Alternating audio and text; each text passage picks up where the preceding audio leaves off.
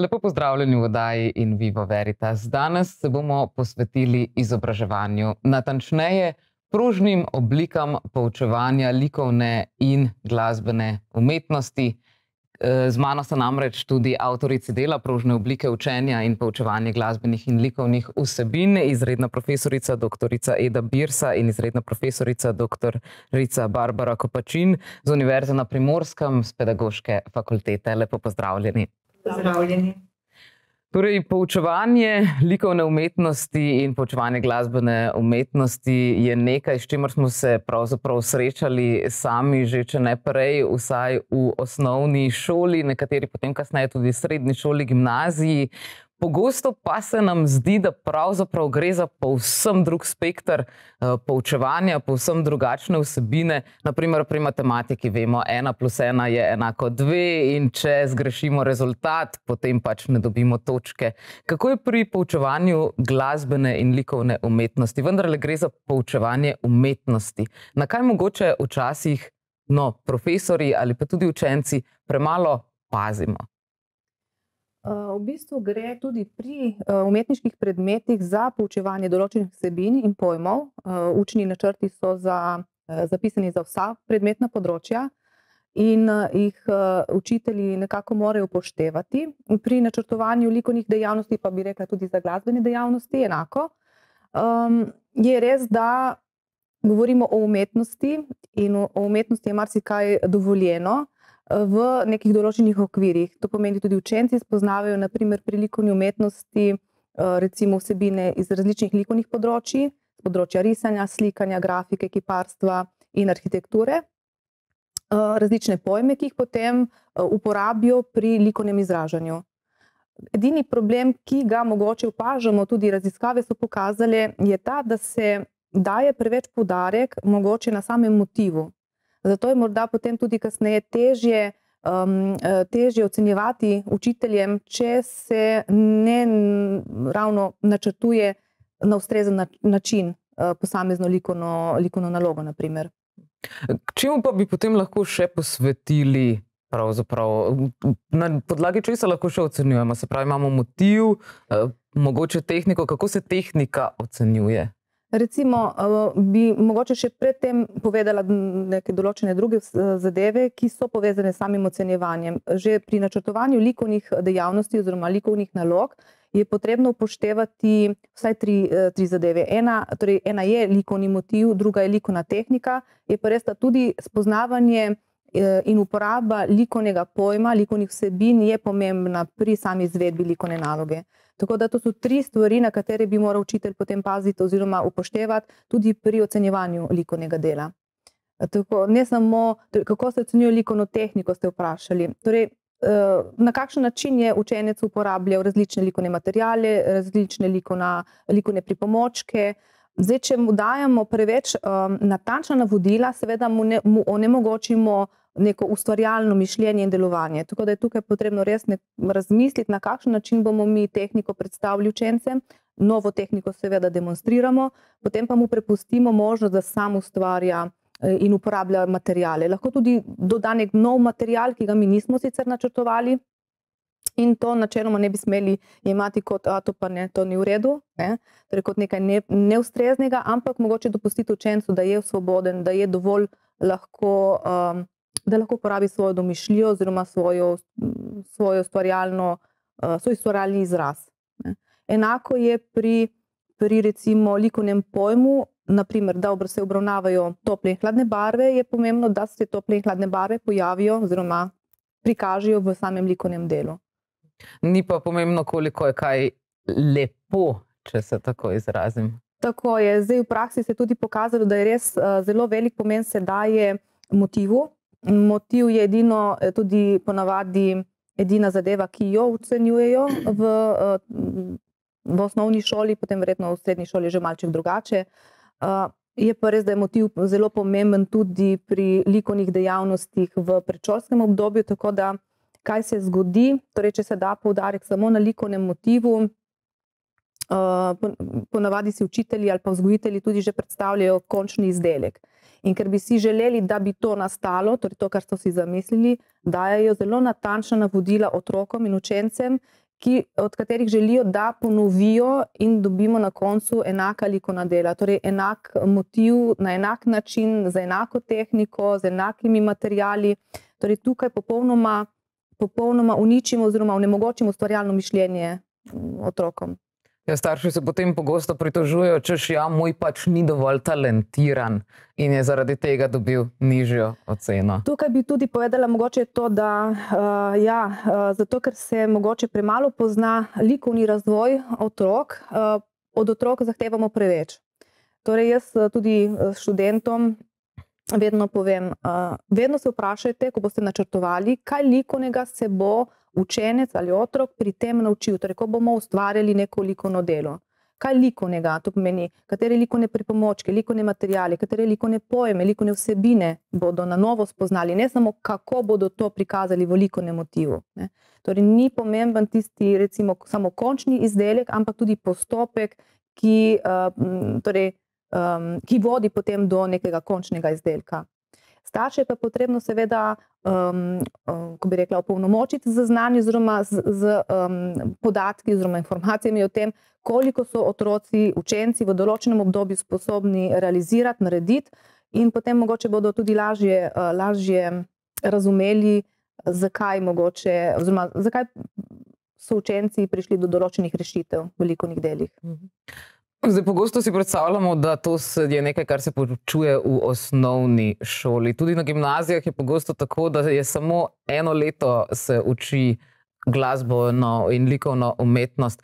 Se vam zdi, da bi morali vsaj na gimnazijah to nekako potegniti vse tja do četrtega letnika? Sicer veliko ostane, ravno se pravi, nekako ustvarjalnosti je vse manj, veliko več je učenja na pamet, tudi mogoče bi ustvarjalnost lahko pomagala pri uh, kakšnih kreativnih rešitvah, sploh glasbo, naprimer, pogosto povezujejo z učenjem matematike, čež da gre to nekako z roko v roki.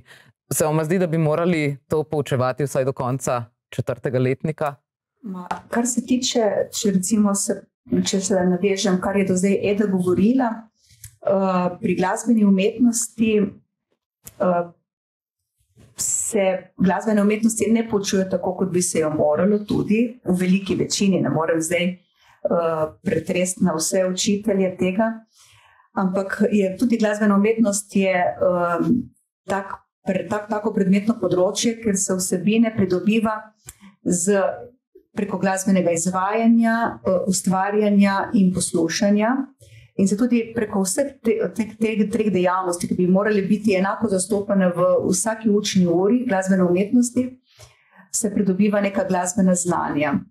In načeloma se ta glasbena znanja v veliki, veliki večini primerov končajo pridobivati v, s koncem drugega uh, vzgojno-izobraževalnega obdobja, in se potem tretje izobraževalno obdobje uporabi s tem, da se otroci na pamet učijo glasbeno zgodovino kar se potem, eh, kar ponovijo potem v eh, letniku srednje šole, ker bi tudi morali izvajati, ustvarjati in poslušati glasbo in preko teh treh dejavnosti pridobivati znanje glasbenega jezika.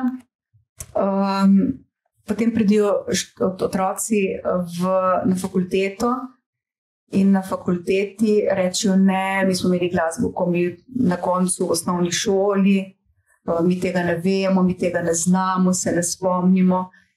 In se potem začnemo učiti v bistvu v prvem letniku fakultete, spet snovi od začetka. Eh, in potem imajo študenti težavo, jaz tega ne bom zmogel, jaz, jaz ne bom tako učil glasbe. In se mi zdi, da se vrtimo v enem začaranem krogu, iz katerega ne znamo ven priti. Tako da, ja, če bi se glasba učila, ali pa recimo, vsa umetnost, ali pa likovna na način, kot uh, ga zdaj, o, o, o čemer pripovedujeva, niso to neke nove stvari, o katerih smo prve zdaj uh, spregovorili. Ne? Ampak, če bi se tako učilo uh, umetniško področje, bi mogoče tudi študentom, ko pridejo iz srednje šole na fakulteto, bilo veliko, veliko lažje. V knjigi pa pravzaprav govorite o prožnih oblikah učenja. Mhm. Kaj pa so to prožne oblike učenja?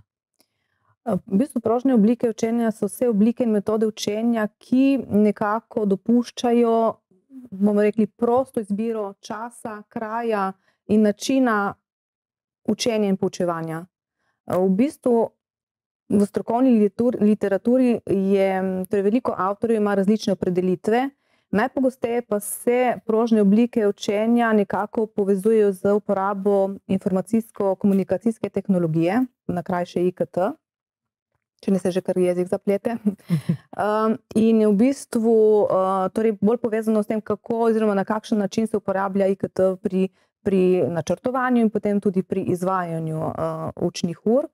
Je res, da uh, sva medve nekako pod prožne oblike poučevanja in učenja vključili tudi medpredmetno povezovanje, zato ker je v bistvu tudi tukaj se uh, pri medpredmetnih povezavah na različne načine lahko podajamo uh, različne vsebine. No, Tako da uh, prožne oblike učenja nekako vse ni to nova zadeva, ne? torej o teh, o teh vsebini oziroma o prožnih oblikah učenja um, se govori že dolgo, tako kot tudi o medpredmetnih povezavah, ampak nekako šele v času, pred nekaj leti smo imeli izkušnjo s pandemijo, ko smo nekako bili prisiljeni spremeniti način poučevanja zaradi situacije, ki je bila povsod v, na svetu, uh, se je v bistvu ta zadeva malo bolj. Uh, Smo se bolj poglobili mogoče v, v uporabo prožnih oblik učenja.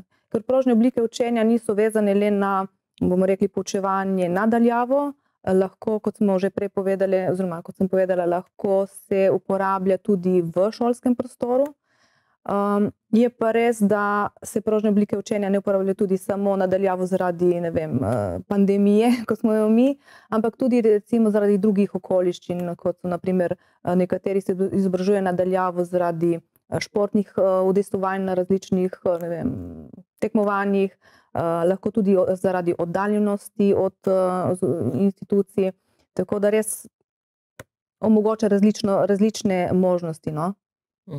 Saj, kaj pa v sami instituciji, naprimer, že sploh, ko govorimo o umetnosti in uh, se pravi o različnih načinih poučevanja, je ravno za likovno in glasbeno umetnost smiselno poučevanje zgolj tako imenovano ex katedra, torej da učitelj stoji pred katedrom, razlaga, kaj je kaj potrebno, vsake toliko mogoče da kako navodilo, da se kaj naredi, kaj zapoje, ali bi ravno že tukaj v sami instituciji lahko to malo bolj razširili, tudi tukaj uvedli kakšne bolj prožne oblike če učenja.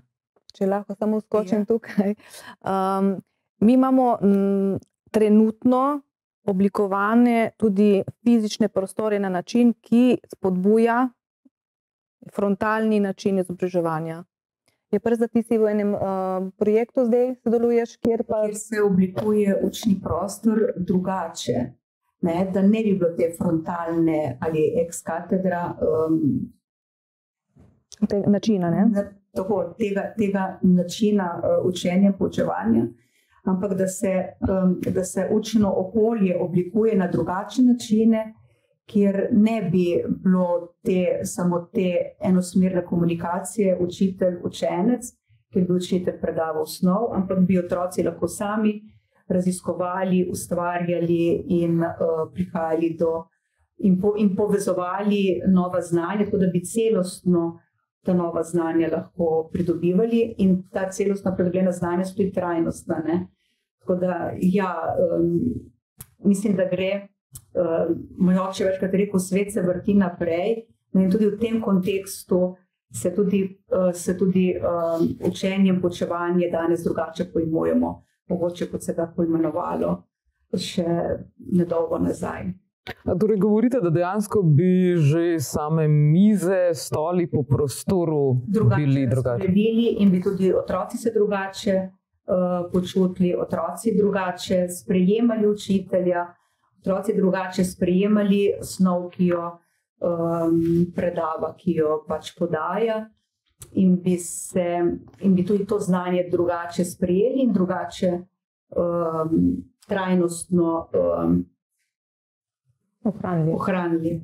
Pa to pomeni, naprimer, da bi dali mize po nekaj miz skupaj, verjetno se učitelji potem bojijo, češ potem pa preveč klepetali. Otroci, če se jih eh, dovolj zaposli, mislim, da pozabijo na klepetanje. Um, tudi, tudi sama sem uh, razredni učitelj in mislim, da kadar sem otroke dovolj zaposlila, uh, so lahko klepetali, ampak je bilo to mogoče, ko se reče, um, kreativni nemir. Um, lahko ni nujno, da so klepetali samo o popoldanskih dejavnostih, ampak osnovi, ki smo jo takrat pač obravnavali. Hmm. Potem pa, naprimer, ste omenili tudi, da bi se uporabljalo, torej, če prav razumem, nove tehnologije poleg tega. Uh, se pravi, če pozabimo torej na to učenje nadaljavo, če se osredotočimo na to direktno učenje v sami instituciji, praktično vsaka šola ima že v vsaki učilnici zdaj računalnik. Na kakšen način vse lahko računalnik uporabljamo? Ker včasih slišimo tudi otroke, že češ, kaj se bom pa tega učil, saj to najdem na internetu. Ne? In se jim po svoje zdi, da v bistvu, že če imajo sami računalnik doma, lahko že imajo vse to znanje, uh, kot naprimer ga ima učiteljica. Kako jim torej predstaviti ta računalnik kot neko orodje, ki jim lahko pomaga širiti to znanje? Torej, je res, ja. z računalnikom se nam je dostop do različnih virov in informacije zelo uh, zbližal, kar se tega tiče. Ne. Je pa pomembno, da uh, vedeti, da uh, računalnik um, pač v kontekstu vseh učnih predmetov um, ne sodi. Uh, pri glasbi se recimo ta računalnik, kar se daljave tiče, torej, kar se učenja nadaljavo tiče, eh, se ni izkazal kot najboljši. Eh, v razredu z otroki lahko eh, muziciramo, skupinsko muziciramo, medtem ko nadaljavo tega, torej nas je ta pandemija, nas je tega oropala. Vedno je lahko samo en od otrok izvajal nek ritmični motiv, nek melodični motiv, nek, pač neko pesem, lahko sam zapel nikoli ni mogel zapeti v sodelovanju z drugimi otroki. Uh, zato, ker uh, ima, imamo, smo, smo imeli doma različno hitre internetne povezave, različno močne računalnike, ki, popa, ki so lahko popačili zvok, lahko so popačili. In, in sem jaz igrala na flauto, so popačili zvok flaute. Um, nis, torej nismo mogli imeti tega, tega skupinskega muziciranja. Da uh, računalnik, ja, v smislu, če govorim za glasbeno umetnost, v smislu podajanja nekih informacij, um, skupinsko muziciranje je pa skoraj da ne, ne, ne skoraj da, ampak je popolnoma nemogoče um, izvajati nadaljavo preko računalnika. Mm -hmm. Kako pa ga lahko torej, v učilnici recimo, uporabimo? To pomeni, da samo gledamo kakšne filme. Ne, lahko tudi gledamo kakšne eh, ritmične spremljave, ki jih učitelj pripravi. Potem uh, izvajajo, recimo, polovica razreda izvaja en ritem, polovica drugi, slišimo zvočno sliko, ki smo jo videli na, uh, proso, mislim, na, na, na prosojnici.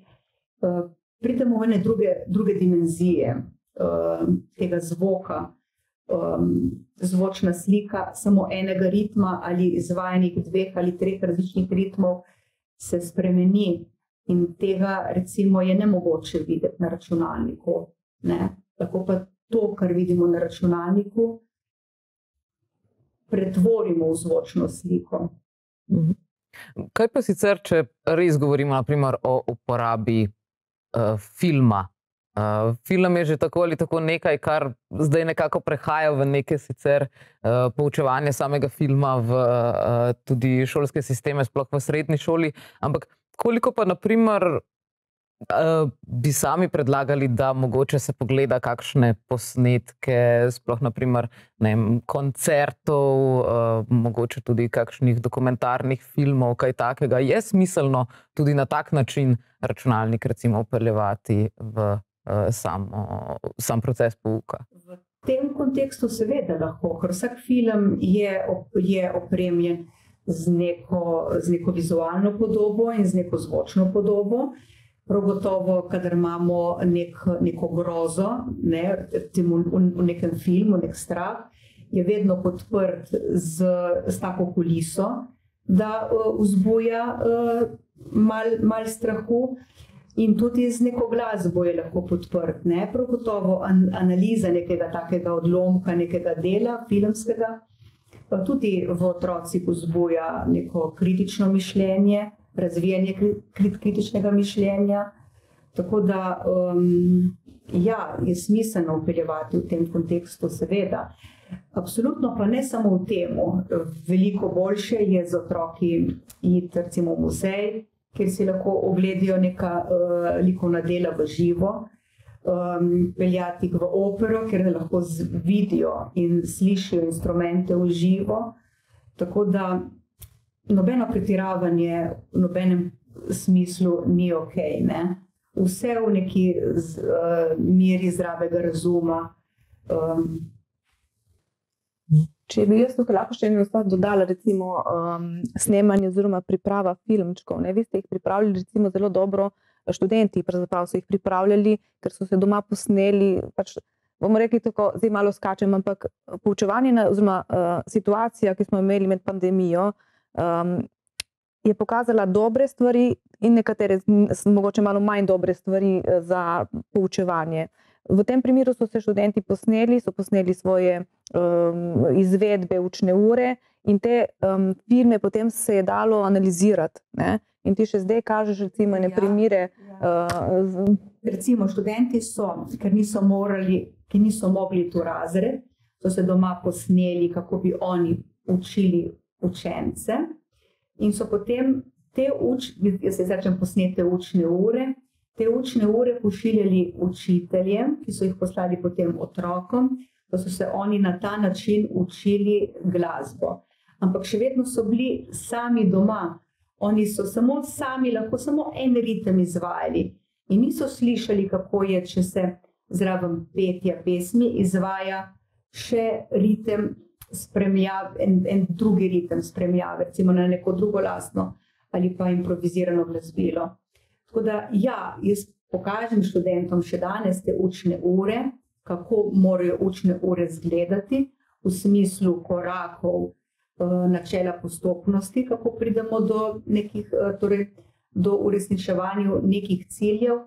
Absolutno pa, če je sam otrok doma, preko filma, lahko izvaja samo en ritem. Torej, je oropan te zvočne podobe ki jo lahko ustvari samo skupinsko muziciranje.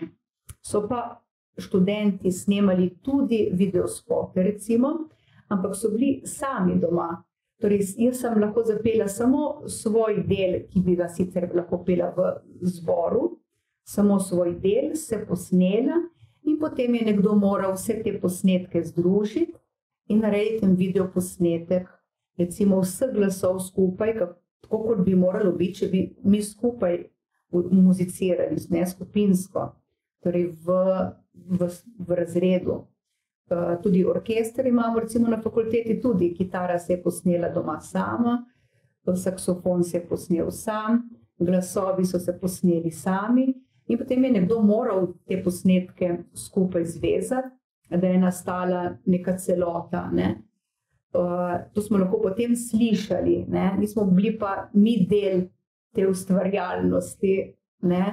ko smo, um, ko, kot bi lahko bili, ko smo bili pred pandemijo in po pandemiji, kot zdaj lahko ustvarjamo. Mhm. Da, ja, tudi računalnike v razred, ja, ampak vse z eno mejo zdravega razuma. Mhm. Zdaj, kako pa je pomembno, naprimer, da se verjetno študenti že obvladajo inštrumente, ponavadi, ko pridejo na fakulteto, ampak kako naprimer mlajši uh, otroci, da nimo, kako pomembno je, da pridejo v stik z inštrumentom, da primejo v roke čopič, da torej dejansko začutijo različne inštrumente, da slišijo različne inštrumente, da uporabijo različne čopiče, glino, različne materijale. Je to pomembno ali je dovolj, če govorimo samo v teoriji o nekaterih zadevah. Ne, absolutno morajo imeti otroci izkušnjo z, z igranjem na glasbila. Vas moram pa popraviti. Študenti, ko pridejo na fakulteto, eh, ne znajo igrati na instrumente. Se v bistvu velika večina so tudi tisti, ki so prehodili v glasbeno šolo, tako da eni, enim to lažje sprejmejo in hitreje. Um, se naučijo igranja na, na glasbila, eni malo kasneje.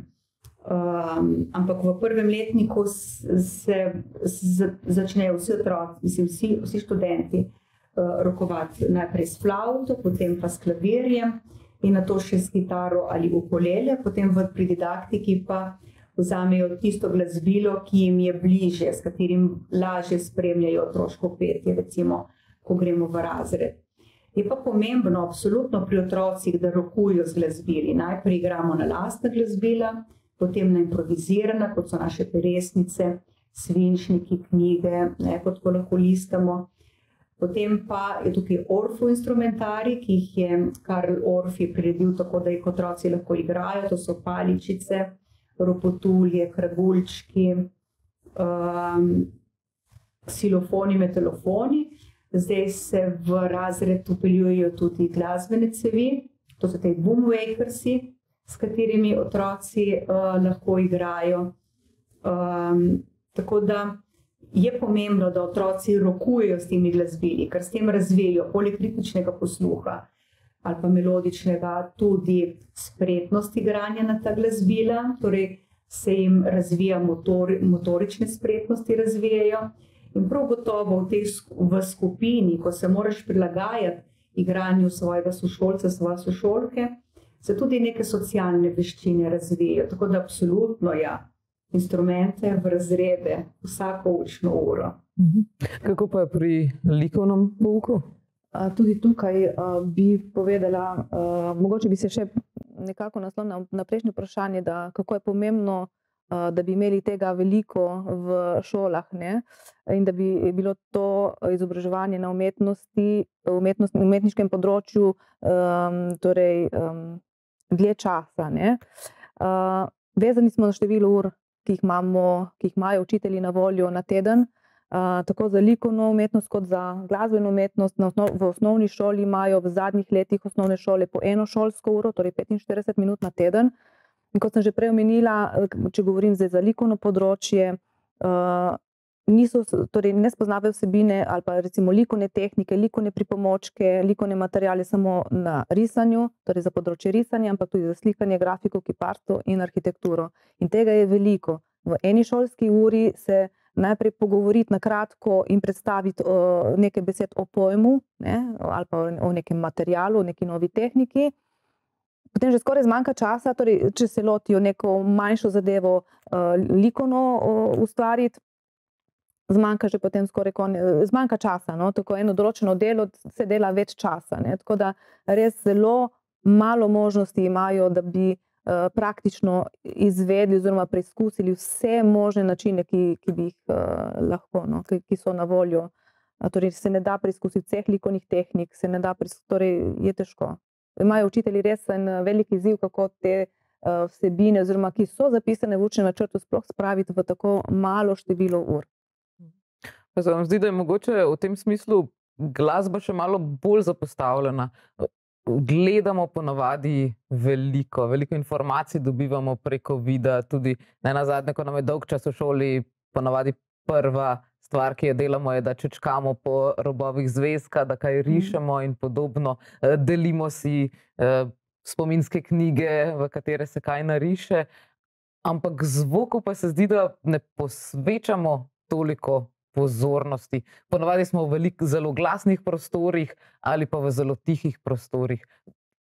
Koliko bi mogoče v tem smislu lahko še Eh, tudi na ta način povezali, recimo, glasbo s kakšnim drugim predmetom, že v tem smislu slišanja. Sami dve sta, uh, mi prej smo vklopili kamere, da nimo dejali, da izvajata zelo zanimivo raziskavo, zdaj trenutno tudi v vrtcih, ki ravno glasbo in uh, likovno umetnost, da nimo uh, združujete ravno v tem smislu videnega, da se povezuje slišanjem. Se vam zdi, da bi morali to večkrat povezovati med sabo? Zdaj, če lahko se tukaj jaz pri, uh, oglasim, zdaj pri medpredmetnih povezavah, kaj je najbolj pomembno? Najbolj pomembno je, da, so, uh, da se medpredmetne povezave res skrbno načrtuje. In če se povezuje, torej ne bomo povezovali kar poprek, torej bomo res razmislili, kdaj bomo povezovali, kaj bomo povezovali. Torej, da se skrbno uh, izbere pojem iz učnega načrta, pojem, ki je skupen mogoče več različnih področji. Če uh, recimo o ritmu govoriva tako jaz pri likovni umetnosti, kot uh, na glasbenem področju, potem je smiselno ta pojem povezati. In to ravno zdaj nekako povezujemo, recimo uh, ritmično. Uh, Zaznavanje, oziroma ritmično um, razumevanje ritma no, na različne načine, uh, in uh, je pomembno res ciljno načrtovati take dejavnosti. Uh, ni vedno vsaka medpredmetna povezava učinkovita oziroma smiselna. Um, tudi tukaj je dobro se vprašati, zakaj bomo povezovali, kaj bomo učencem pri tem ali pa otroku, če govorimo za predšolsko obdobje, um, doprinesli, katere cilje bomo uresničili oziroma uresničevali, če bomo povezovali te recimo skupne pojme. Tako da tukaj so različni načini, kako povezovati. Um, je pa res, da uh, torej tudi različni avtori uh, navajajo različne metode, različne uh, strategije medpredmetnega povezovanja. Važno je, da vemo, zakaj bomo to počeli in da je to res skrbno načrtovano.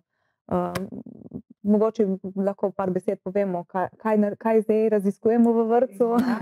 V bistvu sva, um, od, torej, glasbeni razvoj je zelo, zelo kompleksen. Najprej se začne razvijati ritmični posluh, potem se začne melodični, in pot, uh, na osnovi ritmičnega melodičnega se pri devetih letih začne razvijati še harmonski posluh. To pomeni, da so otroci, da slišijo harmonijo, da so sposobni peti drugi glas.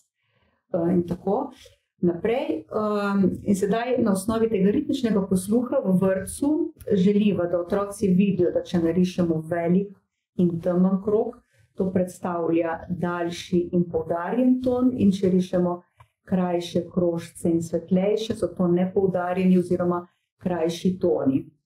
In uh, zdaj že nekaj časa izvajamo s tem, da z lastnimi glasbili ob, iz, ob izvajanju števanke uh, spremljamo um, ritmično poudarjene in nepoudarjene zloge.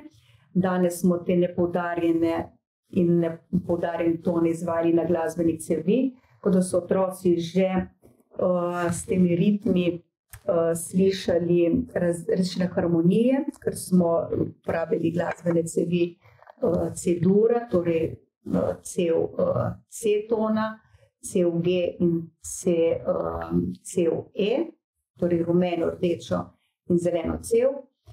In živa pa prije do tega, da bo, da bo kolegica postavila nekoliko delo nekega um, umetnika, umetnika, tako z abstraktnimi geometrijskimi oblikami.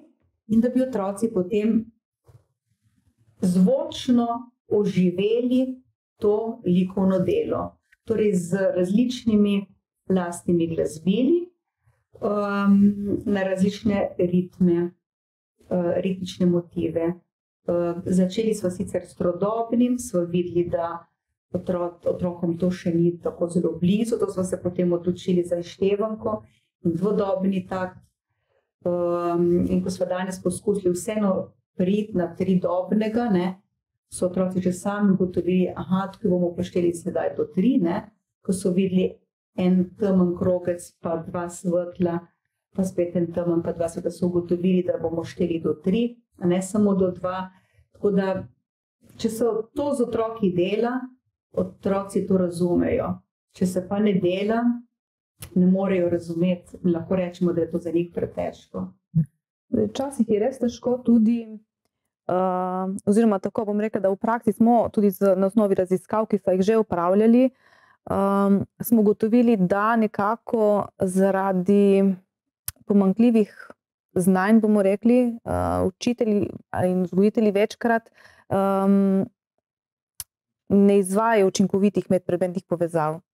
V bistvu ponavadi umetnost vključijo v recimo povezavo z nekim drugim predmetom ali pa predmetnim področjem kot neko popestritev. Torej, če lahko pojasnim na enem primeru, najpogosteje se recimo bere, prebere neko pravljico, pesmico, karkoli že, in se potem vsebina likovno upodobi. Torej, na ta način je, se v praksi tretira torej ta tako izvedena, v narekovajih, medpredmetna povezava kot ustrezna. Pa ni zaradi tega, ker se ponavadi pri taki medpredmetni povezavi ne uresničujejo likovni cilji, torej se uresničujejo cilji samo na primer slovenščine. In, in to je, to ni ustrezen način povezovanja, ne. Tako da, če seveda se da, se da tudi likovno potem izvesti neko nalogo, potrebno pa je določiti, zakaj bomo to izvedli, torej točno določiti cilje, zakaj se bo to izvedlo, ne. Kaj je cilj te naloge, torej kaj bo doprineslo k razumevanju vsebine, ki je bila prej prebrana pri, na primer pri slovenščini.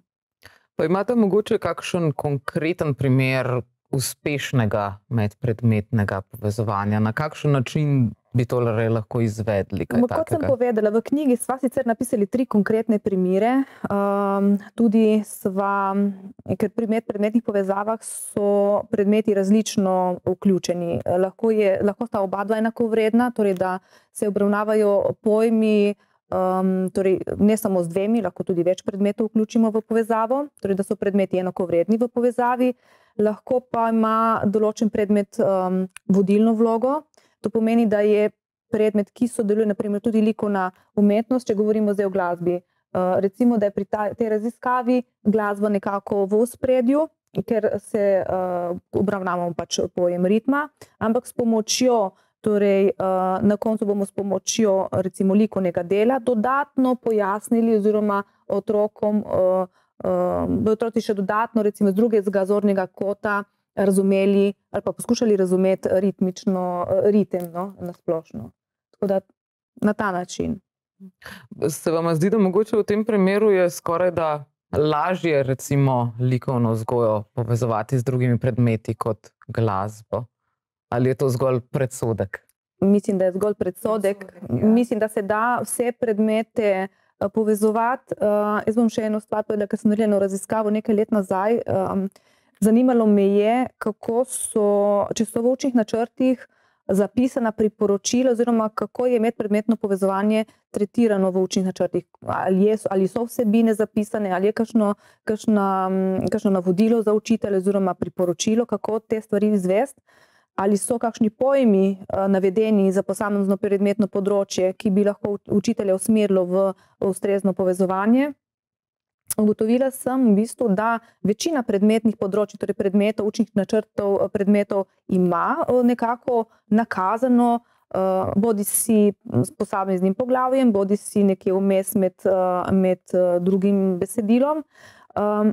naj, bomo rekli, naj, najboljše, je to področje, torej, je v medpredmetnih povezavah, nekako obdelalo ravno področje glasbe, ker so imeli res konkretne pojme, ki so možni za medpredmetno povezovanje, tako da mislim, da je dobro, da bi bilo dobro tudi učne načrte nekako, nekako dopolniti, ne, ali pa vsaj tako s kakšno knjigico, kot sta napisali Medved, da se nekako pojasni mogoče res, tista tisti ustrezen način, ki bi poskrbel, da bi, da bi bile te medpredmetne povezave učinkovite, to pomeni, da bo, da bomo uresničili cilje ne enega, ampak več predmetov, torej vseh sodelujočih predmetov, in da bodo, da bo znanje celostno, torej da bodo učenci pridobili znanje z več zornih kotov, torej da bodo bolje razumeli tisto vsebino, ki je v medpredmetni povezavi. Zakaj pa ni več tega? To mogoče, ker so učni načrti preveč rigidni, ker se učiteljem ne da? Zakaj mislite, da mogoče tega ni več, čeprav iz vseh strani poslušamo, kako naj bi se čim bolj, čim več medpredmetno povezovalo? Saj moram, moram reči, da učitelji da jim že kar ratuje uh, smiselno vključevati več predmetnih področij v nek pojem. Recimo, zdaj smo z eno študentko naredili eno tako uh, zanimivo raziskavico, kjer so otroci poskušali razumeti uh, Durovo in Molovo lestvico. Najprej slušno, ampak niso nič se pogovarjali o tem, Eh, da je pač ena, list, ena skladba napisana v Duru, ena pa v Molu. Ampak so eh, recimo o poslušanju ene, so slikali in so recimo sami se odločili, da so um, za ob poslušanju Mola uporabljali tople barve. Medtem ko so poslušali, ko so poslušali skladbo Mola, pa so pri slikanju uporabljali hladne barve. Potem so isto, pri, uh, isto skladbo, so pri isti dve skladbi, sta pri matematiki, so za eno uporabljali uh, ostre linije, uh, torej so risali um, te like um, in črte ostrih linij, medtem ko so pri uh, molovi skladbi risali bolj uh, črte uh, in like mehkih linij. Ne?